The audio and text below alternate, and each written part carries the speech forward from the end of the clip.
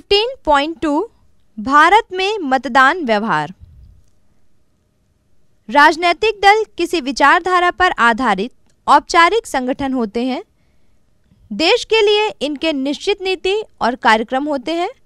भारत में महत्वपूर्ण राजनीतिक दलों का पंजीकरण चुनाव आयोग द्वारा किया जाता है।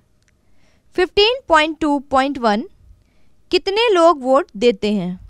आइए अब हम उन्नीस सौ बावन से 2004 तक हुए लोकसभा चुनाव के आधार पर भारत में मतदान व्यवहार को समझने का प्रयास करते हैं।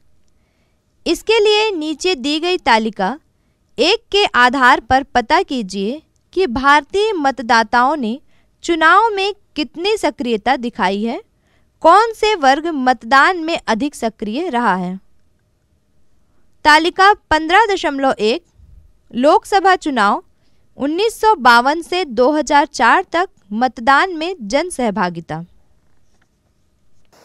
बच्चों, यदि हम उन्नीस जबकि हमारे देश में पहली बार चुनाव हुए थे, तब से लेकर अब तक के मतदान प्रतिशत की तुलना करें, हम जानेंगे कि उन्नीस सौ बावन में जहाँ मतदान का प्रतिशत इकसठ प्रतिशत था, वहीं 1971 में यह कम होकर लगभग 55 प्रतिशत रह गया।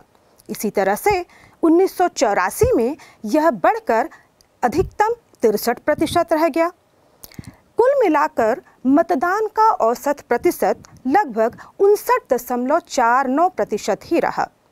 इसका मतलब ये हुआ कि उन्नीस सौ बावन से अब तक चुनाव के मतदान प्रतिशत में कोई खास अंतर नहीं आया।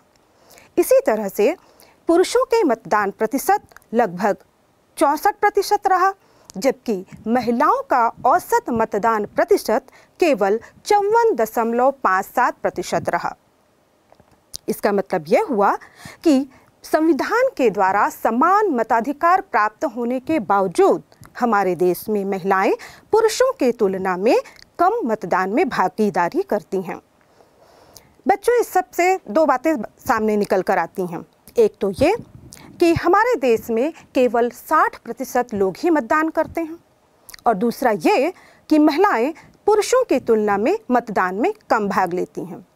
और आपको पता है, हमारे देश के निर्वाचन आयोग तथा बहुत सारी सरकारी एवं गैर सरकारी संस्थाएँ लगातार इस दिशा में प्रयास करती रहती हैं मतदान के प्रतिशत में वृद्धि हो।